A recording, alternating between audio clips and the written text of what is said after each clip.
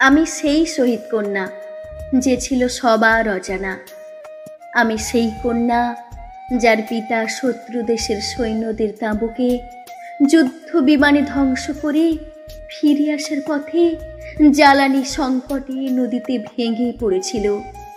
অন্য কোনো প্রাণহানি ছাড়া শুধু আত্মবলি দিয়ে নিস্তেজ হয়ে পড়েছিল এই হতভাগী মেয়েটির পিতা। আর অমনি দেশের সকল সংবাদ মাধ্যম যেন পাখির চোখ। মাতৃহারার পর সদ্য পিতৃহারা উপাধি পাওয়া আমার উপর।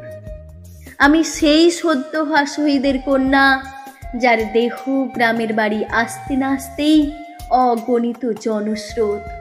সংবাদ মাধ্যম থেকে নেতা মন্ত্রী নেই শুধু আমার শেষ অবলম্বন।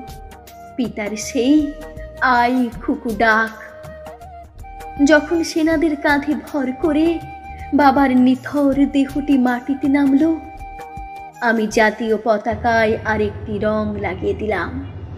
তা হলো রক্তে রাঙা লাল।